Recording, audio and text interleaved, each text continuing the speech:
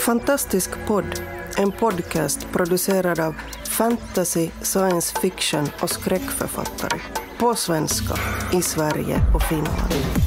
Vi snackar skriva, böcker, våndor och vändor i våra och andras världar.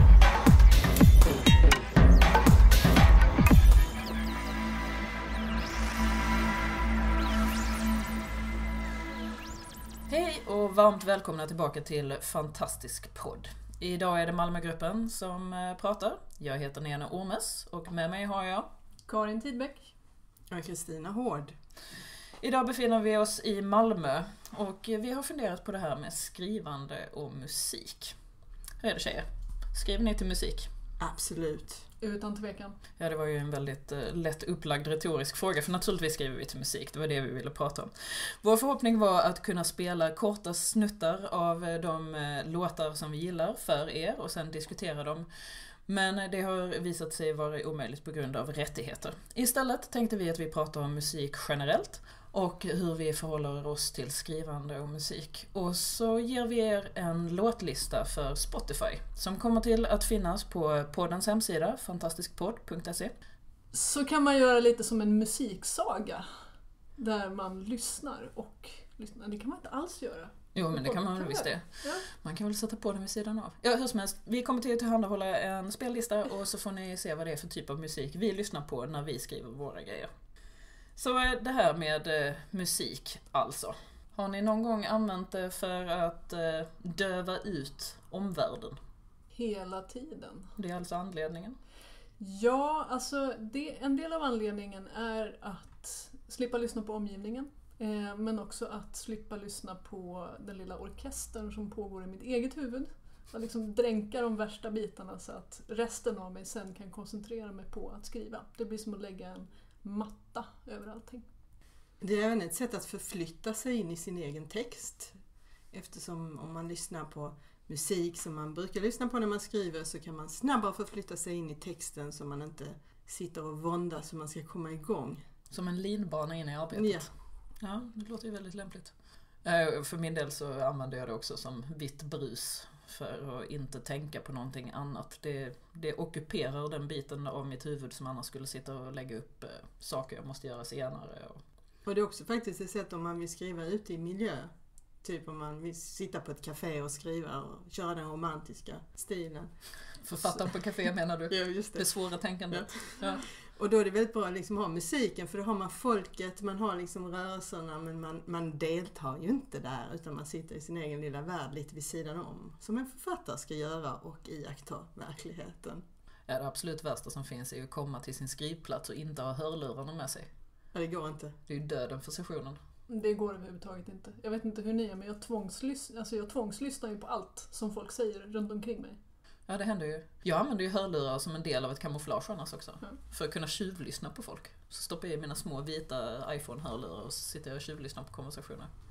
Mm, jag kan använda hörlurar också för att jag ska se ut som jag lyssnar på någonting så ingen kommer att störa mig. Mm, också som kamouflage. Ja, Alltså jag har dem mest i för att jag glömmer att ta ut dem. ja det är sant. ja, eh, den disträ författaren. Jag visar er henne. Ja, så musikens varande eller icke varande, det har vi ju kommit fram till. Musik, helt enkelt. Men eh, hur gör ni med spellistor? Det är inte vilken musik som helst gissar jag. Nej, jag är, jag är väldigt specifik med vad jag lyssnar på. Så jag har olika spellistor. Dels för projekt, det kan vara för eh, en, en novell kan ha en viss spellista som jag bygger upp under tiden som jag skriver den. Eh, ett stort projekt som jag håller på med just nu har en spellista för varje miljö som jag skriver i. Du Kristina? Ja, jag lyssnar faktiskt, eh, den musiken jag använder när jag skriver lyssnar jag aldrig på i något annat sammanhang. Jag har faktiskt olika musik. Om jag, om jag till exempel är ute och springer har jag en sorts musik. Sitter jag i bilen har jag en annan sorts musik. Så jag är väldigt så här indelad. Och sen har jag, eh, precis som Eh, Karin, projektlistor kan man ju säga att jag har. Men jag har samma musik för olika, eh, alltså jag byter musik för varje projekt. Men jag eh, har inte olika musik för vad som händer, om det är miljö eller action eller tårdrypande eller vad man vill ha utan jag har, jag har liksom olika musik för olika projekt. Mm, ja, där är ju definitivt somlig musik som passar i somliga scener. Så jag har en spellista som heter Arg och smärtsam och sen har jag ett par, eh, jag beklagar den gör det. Hård och besynnerlig. Hård och besynnerlig. och så har vi en eh, svettig och ångande som är en speciell sorts musik. Bara det låter som romantitlar.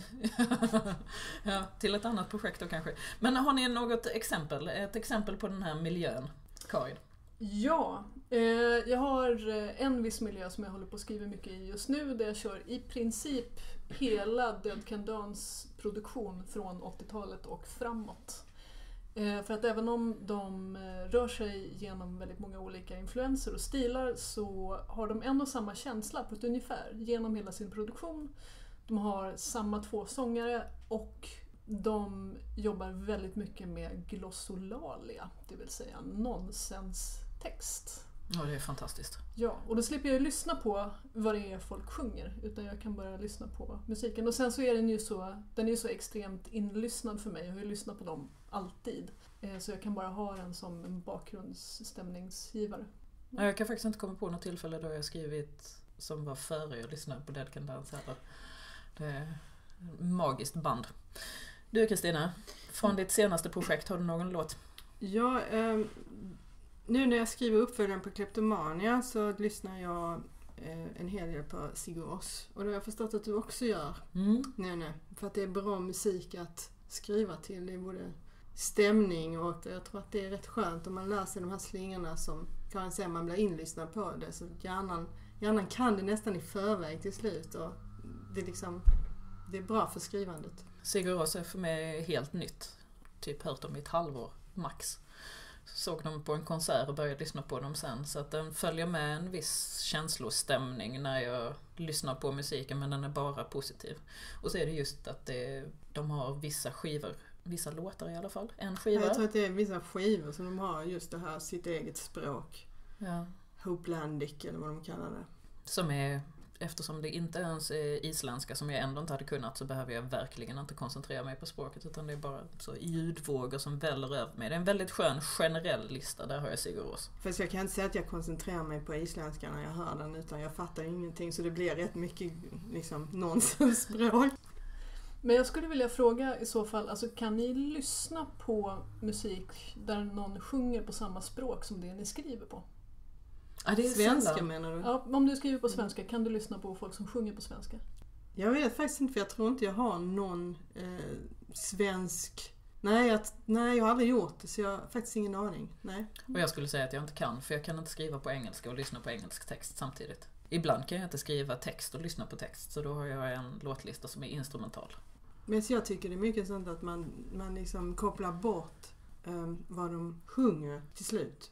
Det stör mig nog inte. Eh, men jag har ingen svensk artist som jag direkt känner att jag skulle kunna lyssna på. Men det kanske finns, jag menar det kommer kanske. Men jag, Men de få ord på isländska jag faktiskt kan märker jag ju när de är med i, i Sigur texter. Och likadant Mm. när jag lyssnar på arabisk musik så plötsligt säger de någonting som jag faktiskt förstår och, och då tappar jag helt koncentrationen på vad jag sysslar med och så och sitter jag och lyssnar efter nästa ord de ska säga som jag kan. Och där är det också rätt begränsat. Så. Plötsligt är det någon som säger älskling till mig ur en låt, för det är ett ord jag kan. Det påverkar ju texten en del. Ja, Jag har faktiskt snarare haft tvärtom. Jag har haft svårt att lyssna på musik som inte har en röst. Jag vill gärna ha rösten men det är mer som då ett instrument. Kanske inte så mycket, inte så mycket vad de sjunger utan bara att det är rösten i sig. Men det är ju som, ja, för min del så är ju somliga röster är triggerpunkter till annat. Till exempel i min eh, sexscens låtlista så har jag ju Danzig Och med låten Mother. Och det är särskilt progressionen och hur han får det att låta det här nästan morrande du rösten. måste liksom ha Glenn som ligger och pulserar där. Det är bara så fint. Eh, och det är nästan ingen annan som förstår det här. Där är ju också Rammstein med förstås. Men det är just de här dova, raspiga rösterna. Och det går ju inte att skriva annan till det. Mm. Skulle någon av de låtarna hamna i min spellista i övrigt så skulle hela texten bara fallera runt plötsliga ögonkast och handhållande, jag vet inte. Kläder åker av och Ja, folk bara- börjar säga snuskiga saker. Nej, det kan ju gå hur illa som helst. Det gäller att hålla sina, sina låtlistor separata från varandra. Det vet jag att du gör Kristina. Ja, jag håller dem separata från varandra i projekten, alltså olika projekt. Och som, eh, som sagt... Eh, Och då- separat från ditt lyssnande i övrigt också. Ja, och, och, och som jag har börjat, jag, jag skissar på en science fiction som jag har börjat skriva lite på när, när jag har lite tid över från det andra skrivandet och allt annat i livet som drabbar en. Då har jag liksom letat efter någonting och då har jag börjat lyssna lite på Klaus Schulze eh, som skriver elektronmusik. Hans musik, eh, det är lätt att, eh, att få de här science fiction-vibbarna också för att skriva sig in liksom i den här känslan och det finns mycket att välja eh, från hans repertoar också. Så att, men det är nytt. Har ni någon gång valt bort en låt ur era spellistor för att ni vill kunna lyssna på den separat från skrivandet? Ja, faktiskt. Eh, eller mest, nu har det mest varit så att jag av misstag har plockat in favoritlåtar i skrivandet och sen har de blivit förstörda för mig. Och det är jättetråkigt. Eh, jag, har, jag, har, jag har en problem med Fever Ray just nu. eller jag skrev, eh, när jag skrev Amatka så hade jag tre stycken skivor som jag lyssnade på hela tiden. Det var dels Fever Rays första platta, det, är väl den enda som har kommit, Fever Ray. Och filmmusiken till Konstantin. Och eh, Ulvers platta Lyckantropen som är en slags elektronika. Eh, men problemet för mig med Fever var att jag började älska den där skivan så mycket eh, att jag ville lyssna på den privat. Men så fort jag lyssnade på den privat sen så blev jag så jävla deppig därför att Amatka är ju inte särskilt roligt. Det som liksom. nej. Nej, så allting blev liksom grått och vemodigt och jag fick helt fel feeling av att lyssna på den. Så att Tack så mycket, mig själv. Tack så mycket före detta Karin. Ja. ja. för min del så är det Florence and the Machine. Som du har jag, förstört eller? Nej, som jag medvetet låtit ja. bli att lägga in i någon av mina spellistor. För jag vill kunna lyssna på Florence and the Machine för min egen skull.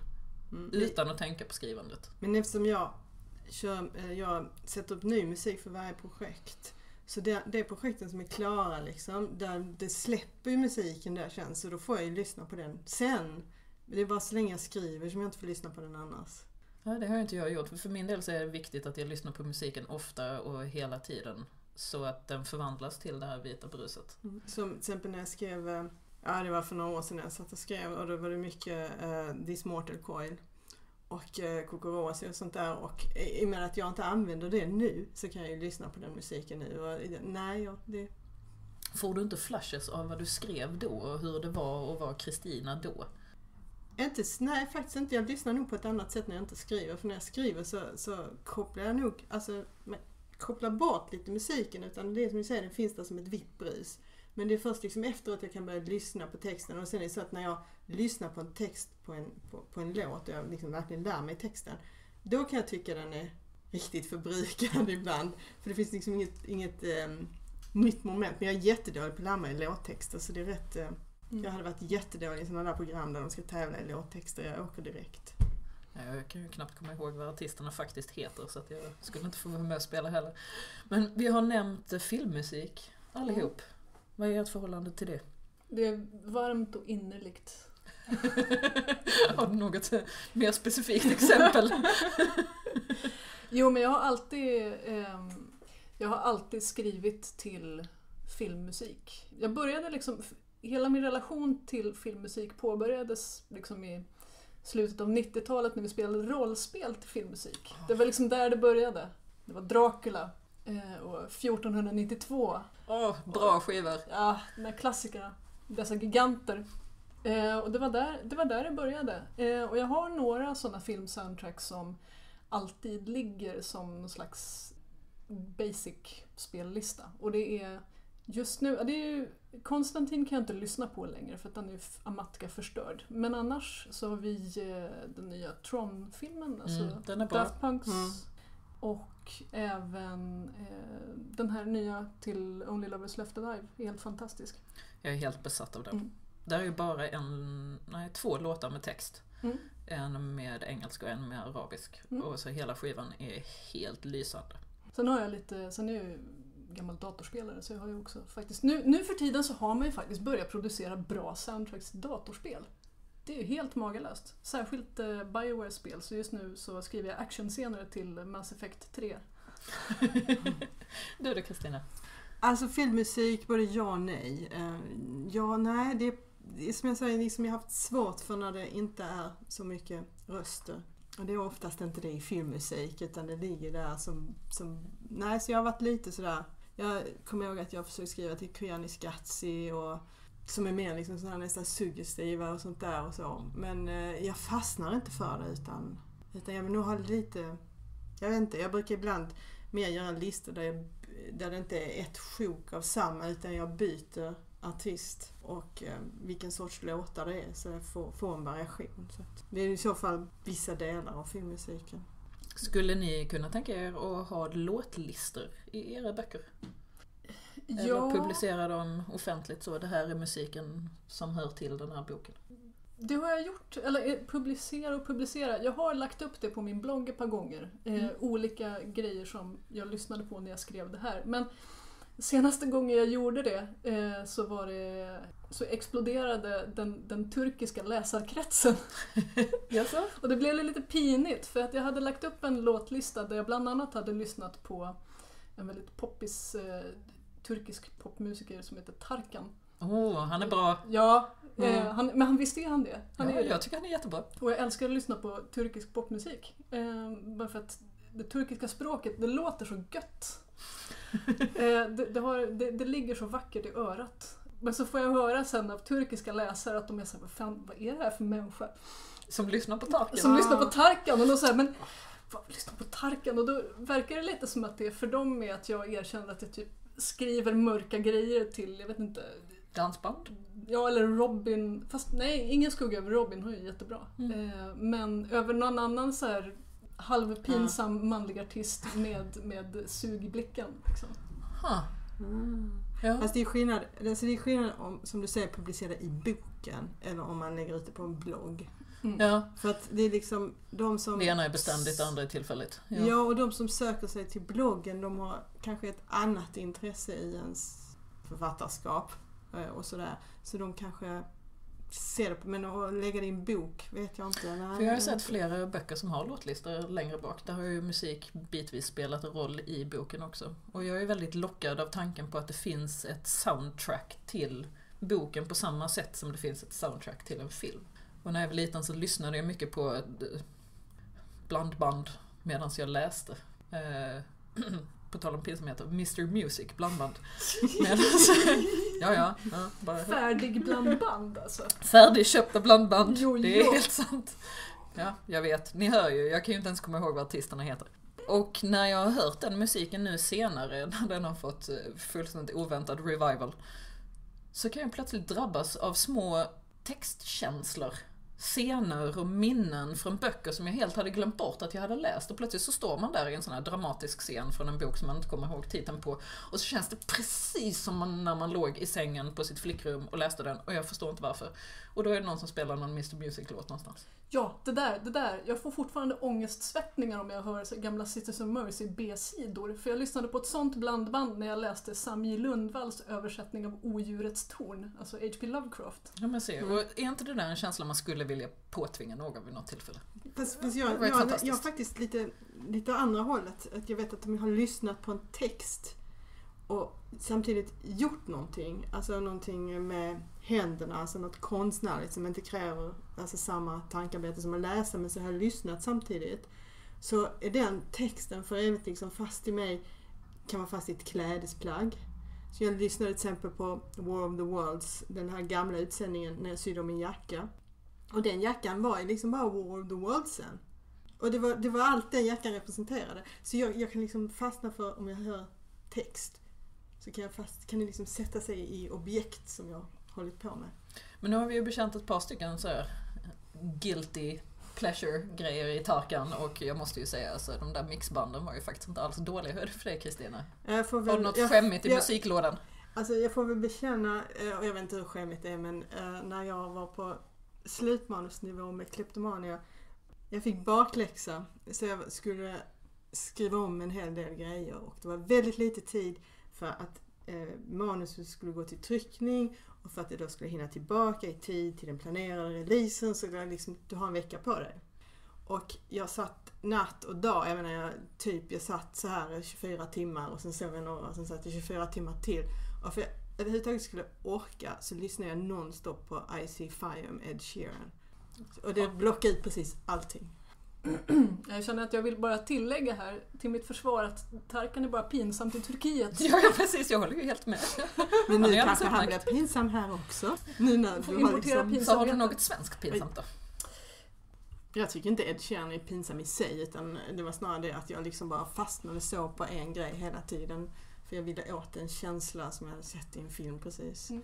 Men annars tycker jag han, han är rätt okej som artist, alltså det är inte så. Men jag tror inte jag skulle kunna skriva till honom annars. Har jag något svenskt pinsamt? Nej, jag, jag ångrar ingenting. Ja, jag för min del kan ju rickrolla mig själv ifall jag har riktig otur. Jag gillade nämligen Rick Astley när jag var liten. Ja, ja jag säger det högt. Eh, och eh, Never gonna give you up kan eh, hända att den poppar upp i huvudet på mig för att riktigt döva ut allting annat jag sysslar med. Eh, Och nu blev det så att vi närmar oss slutet på den här podcasten så det känns ju som om vi har rickrollat alla våra lyssnare nu då.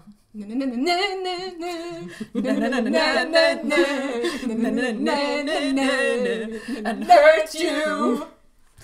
Tack för oss. Hej hej! Hej då!